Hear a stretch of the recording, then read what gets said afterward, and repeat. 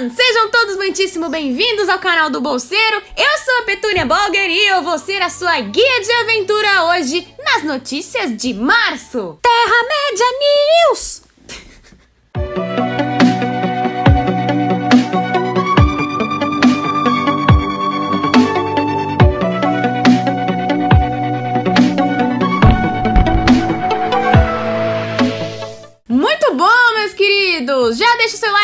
Compartilha esse vídeo para todas as pessoas que te né, são queridas no mundo.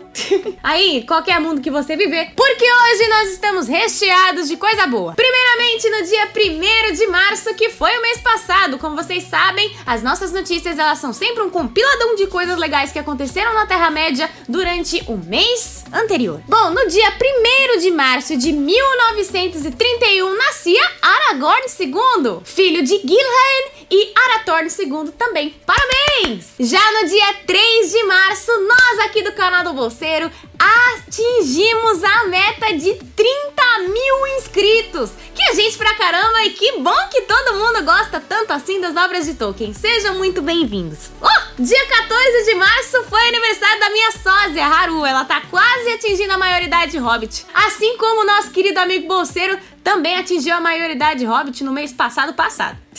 Já no dia 17 de março foi aniversário também da queridíssima Morphy Clark, que é a atriz que interpretará Galadriel na série da Amazon de Senhor dos Anéis, Anéis de Poder. Vamos esperar aí, né, que ela tenha uma boa estreia e que com certeza, né, traga toda a maravilhosidade de Galadriel para as nossas telinhas. Coincidentemente, ela também tá fazendo 33 anos. Todo mundo virando adulto, tá na hora da gente chorar. A idade bate na porta.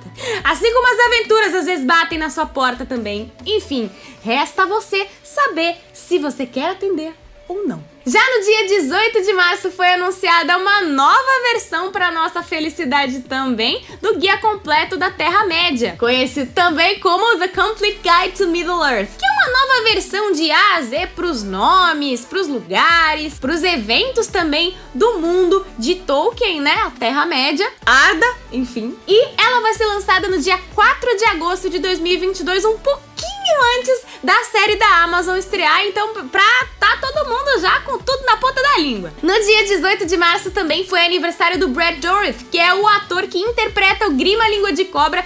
Ele é muito bom no jogo de tabuleiro do Senhor dos Anéis, por sinal, mas é um personagem que, minha Nossa Senhora. E foi o aniversário de, acredite você se quiser, 72 anos do ator. Nesse dia também, dia 18 de março, foi o aniversário da Lily Collins, que é a atriz que interpreta a Edith, né? A esposa de Tolkien, no filme biográfico que ele tem também, que é muito bacana e eu recomendo para todos vocês, se vocês ainda não viram. Também, coincidentemente, foi o aniversário de 33 anos dela. Eu tô achando que a gente vai precisar de um numerólogo aqui. Rapaz!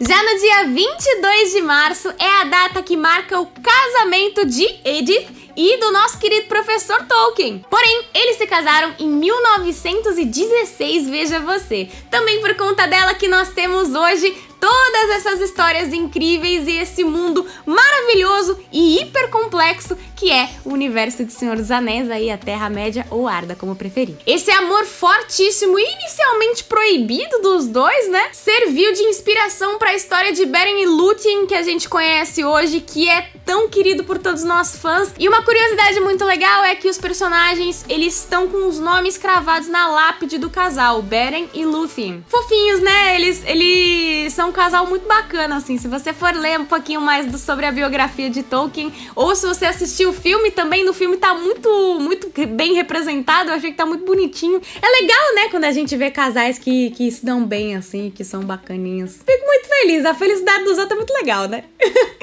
Principalmente a felicidade de alguém que foi tão querido e tão admirado até hoje por nós que somos fãs. Dia 23 de março foi muito legal porque foi anunciada uma nova edição do Silmarillion com ilustrações feitas por quem? Exatamente, Tolkien. As ilustrações do Alan Lee são incrivelmente maravilhosas, mas é sempre muito bom a gente ter as versões com as ilustrações de Tolkien porque, né, foi a maneira como ele imaginou. The Silmarillion Illustrated by the Author. E ela vai ser lançada dia 27 de outubro de 2022 2022. Dia 25 de março é o dia de ler Tolkien. Pois é, Tolkien Reading Day, que foi muito especial esse ano, principalmente para muitos jovens e adolescentes aqui do Brasil. Foi anunciado também pelo bolseiro aqui no canal, porque os professores do ensino médio de escolas públicas agora podem escolher também o Hobbit para trabalhar com seus alunos em sala de aula. Tudo bem, muito legal ler Capitães de Areia e o Curtiço também, mas o Hobbit é excelente, meus amigos. Falando aqui de experiência própria, o Hobbit foi o primeiro livro que me fisgou para gostar de ler. Eu acho que se eu não tivesse tropeçado no Hobbit, ou se eu tivesse tropeçado nele um pouquinho mais tarde, talvez eu não gostasse tanto de ler quanto eu gosto hoje. Então, fica aqui a minha gratidão e a minha felicidade por tantas outras crianças e adolescentes poderem também ter essa oportunidade de ler Tolkien desde cedo. Dia 25 de março também foi o dia da destruição do Anel e, é claro, da queda de Sauron. Além disso, também no dia 25 de março é o aniversário do Lee Pease, que é o ator que interpreta o Thranduil na trilogia do Hobbit que aos seus defeitos e qualidades é o aniversário de 43 anos dele também. Mas vou te falar que o Thranduil é dos pontos positivos do Hobbit. A gente tem que procurar eles com muito carinho e cuidado, mas com certeza é um dos pontos positivos na minha opinião. Coloca aqui quais você achou que são os pontos positivos do Hobbit. Tem que procurar com uma lupa, assim, a gente tenta. Mas que tem, tem! Já no dia 27 de março foi uma noite especial porque foi a noite do Oscar. Por mais que tenha sido ofuscada por muitos acontecimentos aí, foi uma noite muito legal. E o Bolseiro, é claro, fez uma homenagem aí, uma lembrança também no canal ao Senhor dos Anéis, que na época recebeu 17 Oscar. E eu achei que foi pouco ainda, Oscar ainda. 17 é um número interessante. Enfim, 11 deles foram pro Retorno do Rei, que atingiu o recorde de estatuetas do Oscar, se juntando a Ben-Hur e Titanic também, que foram filmes que marcaram época. E é muito legal da gente relembrar também, né? Ainda hoje, se a gente assiste qualquer um dos filmes de Senhor dos Anéis, mesmo que ele seja uma adaptação, é claro, da obra de Tolkien, a gente consegue ver que tudo ali foi feito com muito esmero e que ele é um filme que envelheceu muito bem, por mais que tenha sido pioneiro em efeitos especiais. Maravilhoso ainda. Já no dia 28 de março marca a data em que Tolkien recebeu a insígnia da Ordem do Império Britânico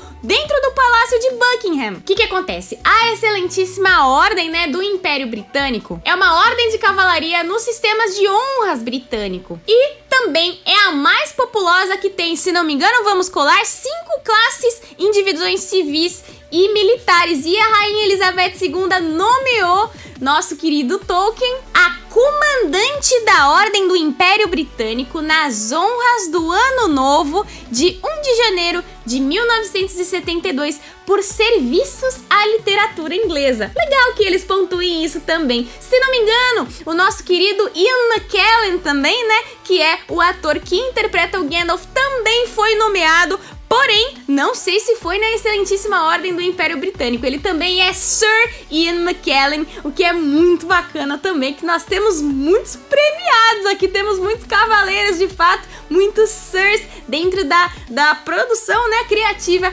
relacionada ao Senhor dos Anéis. Meus queridos amigos e amigas, foi um prazer ter vocês aqui conosco nas notícias de março do universo de Tolkien e da Terra-média também. Sejam muitíssimo bem-vindos aqui sempre, espero que tenham gostado. Deixe aqui o seu like compartilhem essa mensagem para todas as pessoas que devem estar tá fazendo 33 anos por aí, porque tá todo mundo fazendo 33 anos. Enfim, se você tá fazendo aniversário, coloque aqui nos comentários também. Muitos beijinhos da Petúnia e eu vejo vocês mês que vem.